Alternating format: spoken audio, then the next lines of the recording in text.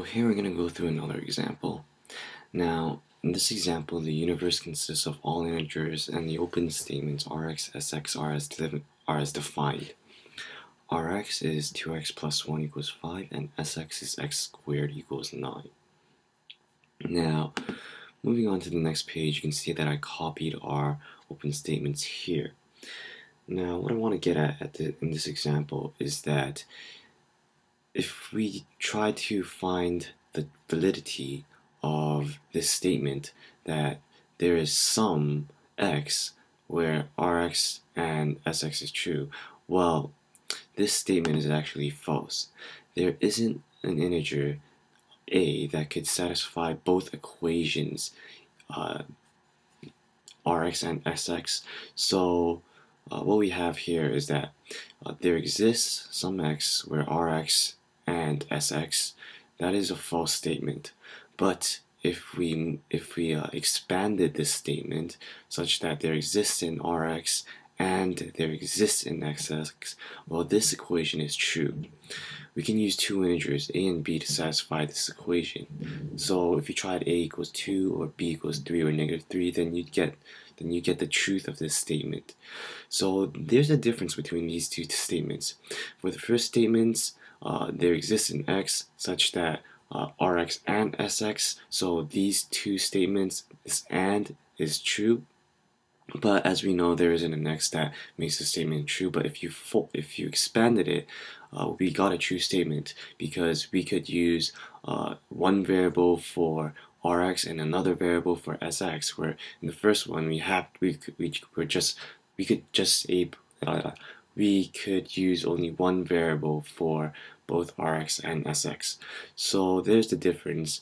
The existential quantifier Ex does not distribute over the logical connective uh, AND. So what we have here is uh, Ex, Rx, and Sx.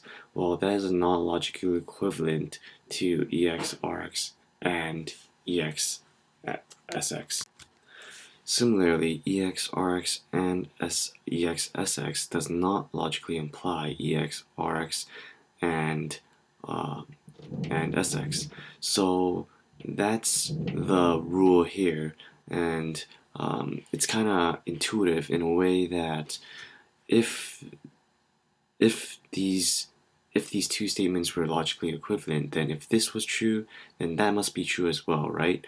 But that isn't the case here. We found out that this statement would be false for an integer, and this statement would be true for two integers. So um, this pretty much proves the point here that the existential quantifier EX does not distribute over the logical connective AND. So the statement EX, RX, and EX, SX implies EX, RX, and SX is not a tautology. Moving on, uh, if, however, a general argument for an arbitrary open statement Px, Qx, and any arbitrary prescribed universe were given, then the hypothesis EXPX and QX implies EXPX and EXQX is true. So what I mean here is that going back to this example, why this didn't work is because of our universe. Given our restriction to that specific universe of integers, these two statements cannot be true. And this statement ultimately is not a tautology.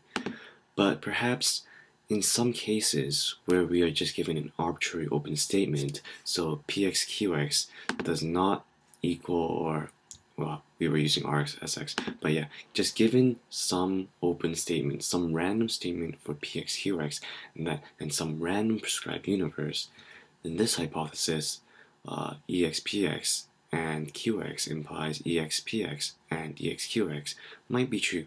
So it might be possible for this EX to distribute into the PX and QX, but that really just depends on the universe.